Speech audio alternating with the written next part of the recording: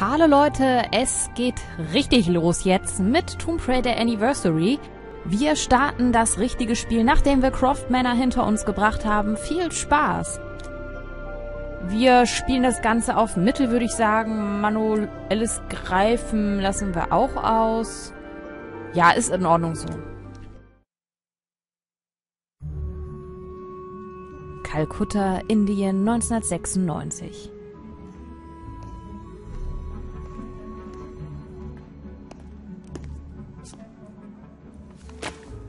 Was muss ein Mann tun, damit Sie ihm solche Beachtung schenken? Wenn Sie diese Art von Beachtung wollen lassen, sind Sie auf dem richtigen Weg. Klingt verlockend. Aber ich möchte Ihnen nur jemanden vorstellen. Darf ich vorstellen? Jacqueline Nuttler, Präsidentin von Nuttler Technologies. Guten Tag, Miss Croft. Meine Forschungsabteilung widmet sich seit einiger Zeit dem Studium antiker Artefakte. Und ich bin der Meinung, dass Sie genau die richtige Frau sind, um sie für mich aufzuspüren. Ich fürchte, Sie irren sich. Für mich ist das Ganze ein Spiel. Genau deshalb wende ich mich an Sie, Miss Croft. Dieses Spiel haben Sie schon gespielt mit Ihrem Vater. Oder haben Sie nicht jahrelang nach dem Sion von Atlantis gesucht? Alles, was Ihnen damals fehlte, war Qualupeks Grab. Sie haben Wilkabamba gefunden? Wann können Sie in Peru sein?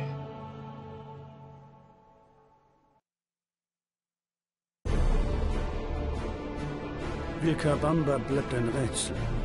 Und meine Entschlossenheit, trotz aller Misserfolge weiterzusuchen, drückt die Moral. Ich denke, dass Jenkins für den Aufruhr verantwortlich ist. Er will einfach nicht akzeptieren, dass Atlantis das Fundament aller uns bekannten Kulturen war. Es wird immer deutlicher, dass offenbar nur Lara vorurteilsfrei und aufgeschlossen genug ist, dieser Tatsache ins Auge zu sehen.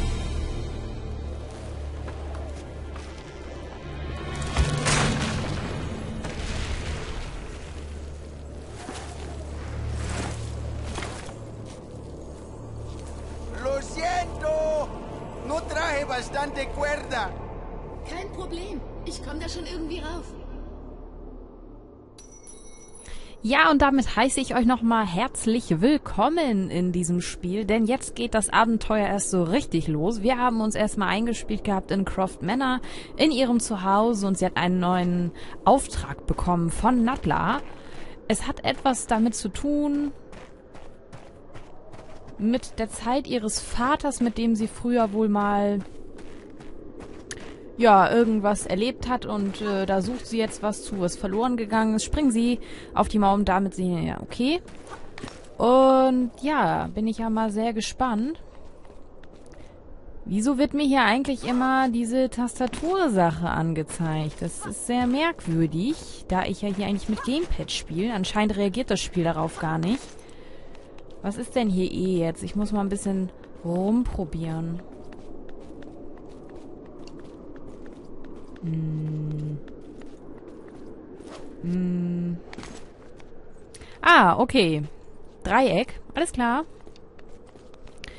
Ja, okay. Bewegen Sie sich mit der Bewegungstaste von der Kante weg und drücken Sie. Mhm.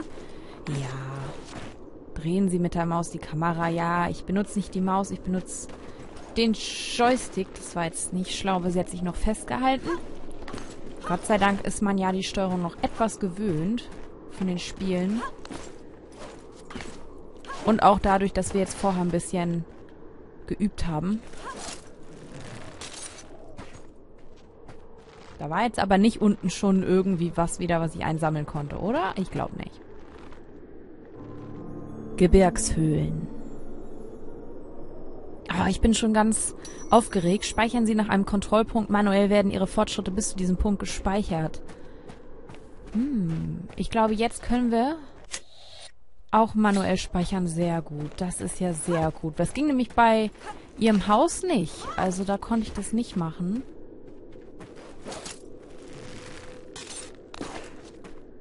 Hm.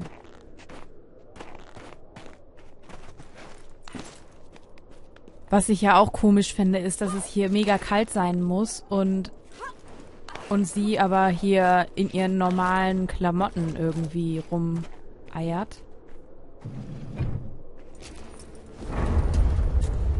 Ich meine, die muss doch total frieren. Er ist voll dick angezogen.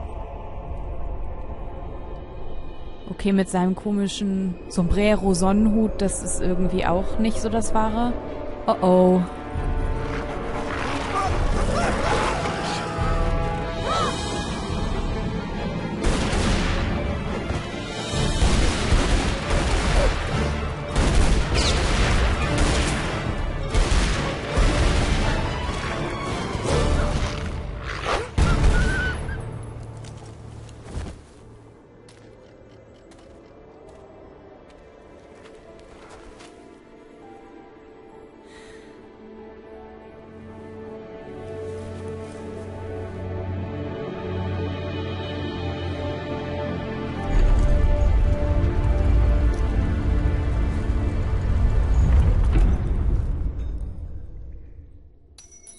So, das ist also der Eingang gewesen. Unser Freund hat es leider nicht geschafft. Okay. Oh oh. Ähm, naja, so hat's auch geklappt. Wie kann ich schnell laufen? Ich kann hier irgendwie schnell laufen. Wie denn?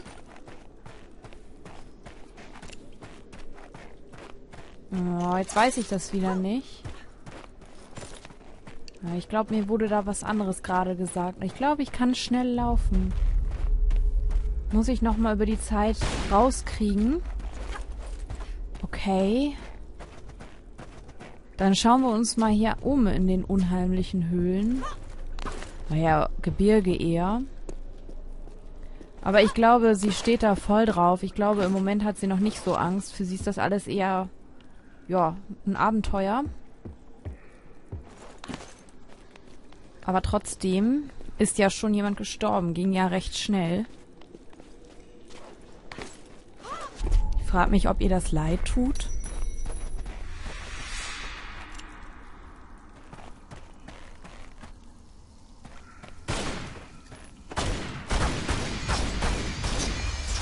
Okay, erste Gegner die auch direkt verschwinden.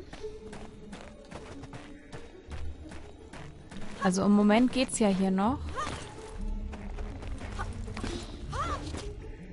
Oh. Ein Medipack, ja, sehr gut.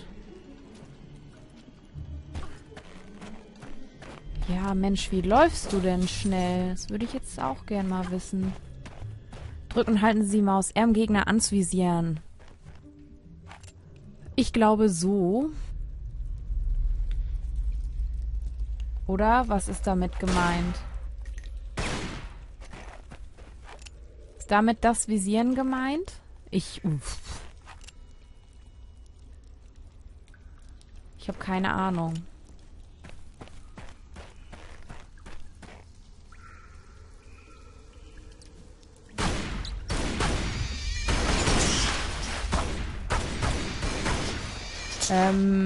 Ich habe mal das mit dem Visieren geübt, aber irgendwie, hm. Haben Sie einen Gegner anvisiert, drücken Sie die Zieltaste, während Sie sich einem anderen Ziel...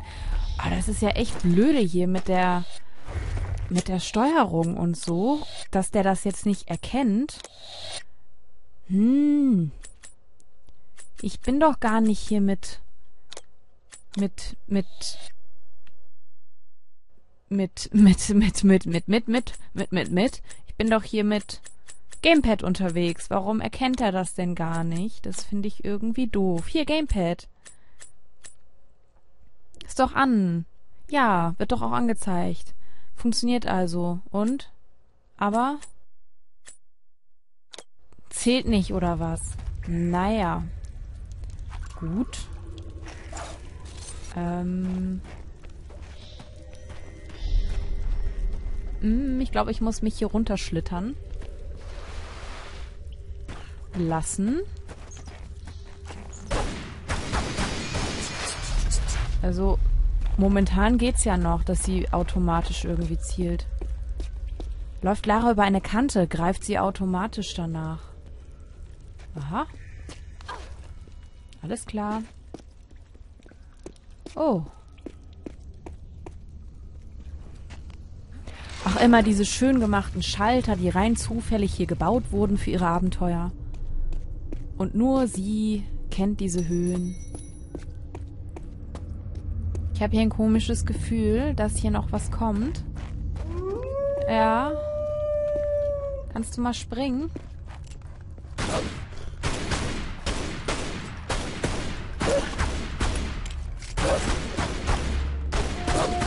Okay. Okay, die beiden sind tot. Warum springt sie hier jetzt nicht?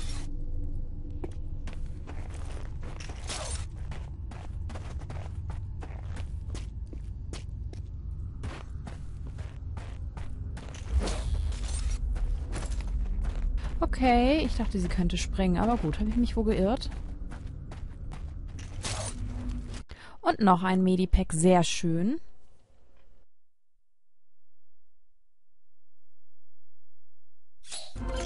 Irgendwas stimmt mit meinem... Da stimmt doch was nicht. Irgendwas habe ich jetzt umgeschaltet, habe ich gerade gemerkt. Ich musste nämlich gerade... Ja, meine X-Taste geht auf einmal nicht mehr. Was ist das denn? Ähm... Entschuldigung, dass das hier gerade so, so verwirrend läuft. Kannst du jetzt wieder springen? Nee. Guck mal, es ist ganz komisch. Dü, dü, dü, dü, dü. Sie ist hier ganz... Ich kann nämlich nicht mehr springen und ich kann dementsprechend auch gar nicht... Das ist ja merkwürdig. Mo Leute, ich mach mal ganz kurz einen Cut und kümmere mich mal um die Steuerung. Bis gleich. So, da bin ich wieder. Ich habe wohl durch die Option irgendwie was verstellt gehabt. Jetzt kann ich auch wieder springen. Sehr schön. Ja, wie kommen wir denn mal da oben hin? Vielleicht hier von der Seite oder so? Oder von ganz oben? Vielleicht sich da runterhangeln? Nee, das geht ja gar nicht. Wie denn? Vielleicht muss man in die Höhle anders reinkommen. Also von der anderen Seite und gar nicht von hier. Hm. Naja, gut. Da ich ja jetzt wieder springen kann, widme ich mich wieder dem zu, wo ich vorher war. Ich freue mich sehr, dass es jetzt so losgeht. Ich bin wieder so ein bisschen aufgeregt wie dam damals. Die Wölfe waren ja Gott sei Dank schon hier. Aber das Ding ist, ich bin auch immer ein bisschen angespannt bei den Tomb Raider Spielen, weil die mich halt auch immer erschrecken. Also diese Tiere, die hier immer auf einmal kommen und so, das ist schon nicht ohne manchmal. Jetzt ist die Frage, was kann ich denn machen? Wie komme ich denn darüber? Gibt es hier irgendwie eine andere Stelle, wo ich mich mit meinem Haken irgendwie... Oder sie kann da einfach so jetzt hochklettern. Ah, ja, das ist gut. Ähm. Wo ist denn jetzt diese Höhlenstelle? Die ist da vorne. Und von da so rüberkommen, das wäre nicht gegangen? Nee, da war ich ja auch schon. Ich glaube auch nicht, dass das geht. Vielleicht ja von hier oben. Geht die jetzt auch kaputt? Hm. Kann ich mich hier runterlassen? Da hält sie sich nicht fest. Und direkt unter uns wäre das eigentlich. Aber es geht anscheinend hier erstmal normal weiter oder so. Weiß es nicht. Liegt hier noch was? Ich finde, es sieht sehr, sehr toll gemacht aus. Und die Spiele haben so eine eigene Atmosphäre. Springen sie auf das Seil zu. Hm. Am besten ist ja eigentlich, man kommt hier so mal rüber ans Medipack. So. Mit ordentlich Schwung könnte das doch gehen.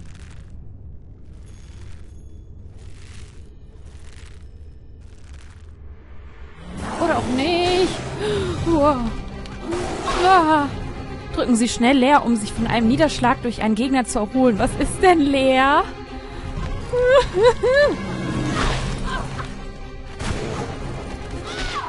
Scheiße. Oh mein Gott, hab ich mich erschrocken. Ah! Es geht hier los, ey. Ich fass es nicht. Leute, was ist denn Hängsam? Können Sie mit den Bewegungstasten schwingen oder die Richtung ändern? Drücken Sie leer, um abzuspringen. Okay. Also es ist die Sprungtaste, ja? Verstehe ich das richtig? Es muss doch gehen hier, dass man da rüberkommt. Ich habe aber echt ein bisschen Schiss hier wegen dem Bären. Oh, ich hab's geschafft. Und was mache ich jetzt? Jetzt habe ich Pech hier, oder was? Oh Gott, der Bär. Ich will nicht. Ha, ha. Voll gut. Ich hab's geschafft. Aber ich glaube, ich komme da nicht drum rum. Ich muss den Bär noch bestimmt nochmal bekämpfen. Vielleicht war da auch ein Secret oder so. Oh, schon wieder hier Leertaste. Ich finde das so blöd, dass das Spiel nicht aufs Gamepad reagiert. Mir hier die ganze Zeit sowas angezeigt, um höher, um weiter zu springen.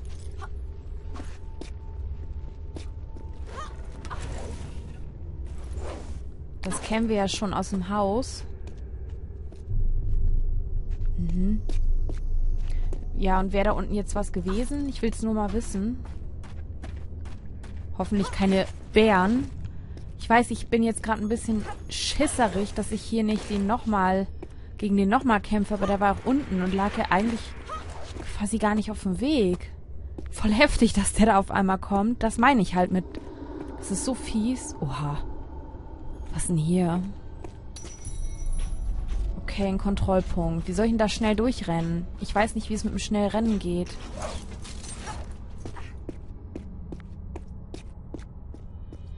Renn mal schnell.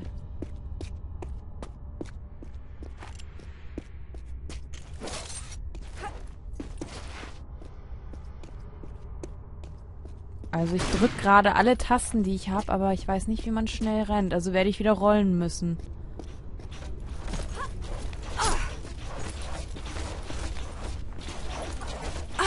Okay, getroffen.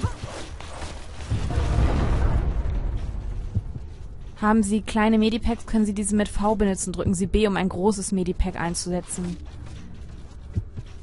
Öffnen Sie über das Objektmenü das Inventarbildschirm Laras Tagebuch. Okay. Ich kann die auch manuell nehmen, ne? So. Und dann gucken wir mal ins Tagebuch. Es muss einen Weg geben, die Tür zu öffnen. Alles klar. Ja, weiß ich noch nicht, wie es mit den Medipacks Ich bin mit der Steuerung gerade hier ein bisschen überfordert. So würde die anscheinend aufgehen oder auch nicht, aber ich versuch's mal. Mit Klettern. Oh nein.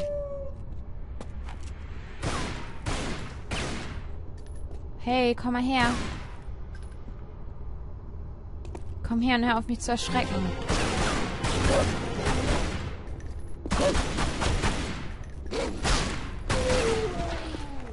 Das Problem ist, merke ich gerade, dass sie nicht dauerhaft schießt. Oh, das ist ja blöd. Das habe ich auch beim Bären gerade gemerkt. Dass sie da irgendwie nicht so richtig voll draufballert. Das ist natürlich nicht so gut. Vielleicht liegt es auch daran, dass sie dann in der Zeit nachlädt oder so. Hm. Was mache ich jetzt hier? Ah, okay.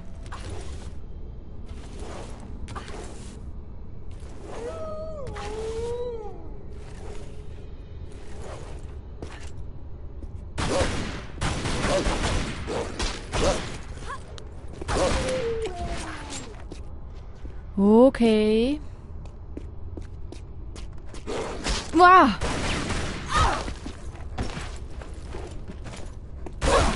Ja, nun schieß doch mal. Ich...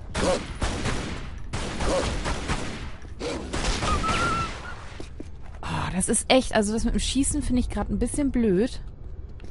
Aber gib mir ein bisschen Zeit, um mich hier reinzufinden. Das wäre toll. Oh, okay.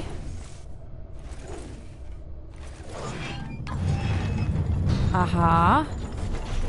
Jetzt haben wir da den einen Hebel irgendwie aufgemacht. Nochmal hält sie sich doch nicht fest. Es reicht anscheinend auch. Hm. Was mache ich denn jetzt? Muss ich jetzt nochmal hier hoch? Damit ich hier so rumklettern kann.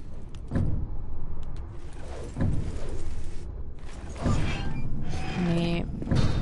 Komme ich nicht weiter. Ähm. Hm. Irgendwas wuselt da unten doch schon wieder rum. Oder, ach nee, das sind die Pfeile. Oder? Hm. Es war aber nur eine Seite. Was ist mit der anderen Seite? Oh je, Mine, oh je, Mine. Ist das jetzt ein Fehler, dass ich jetzt hier wieder hochkletter? Hm. Hier waren wir dann ja auch noch nicht. Ich glaube nicht. Ah, hier ist der andere. Alles klar. Ha, jetzt haben wir die Hebel auch geöffnet. Moment.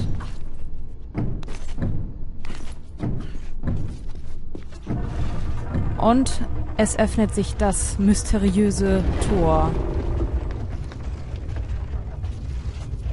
Und was ist bitte auf der anderen Seite? Das erfahren wir im nächsten Part. Und das war schon jeden, auf, für mich war es auf jeden Fall schon mal ein spannender erster Part, vor allem der Bär hat mich äh, reichlich überrascht gerade. Und auch das mit den Wölfen, also das Schießen, wenn ich jetzt hier die ganze Zeit R2 drücke. Ja, jetzt ballert sie wieder schön drauf, aber gerade eben beim Wolf hat man es auch gemerkt, zwischenzeitlich dann wieder so Aussetzer obwohl ich halt die ganze Zeit drücke. Na, mal schauen, wie sich das so in den nächsten Parts noch entwickeln wird. Und die Gegner werden ja nicht unbedingt leichter werden. Vielen Dank fürs Zuschauen. Ich hoffe, es hat euch gefallen. Hinterlasst mir doch einen Kommentar oder einen Daumen hoch oder so. Würde mich freuen und bis dann.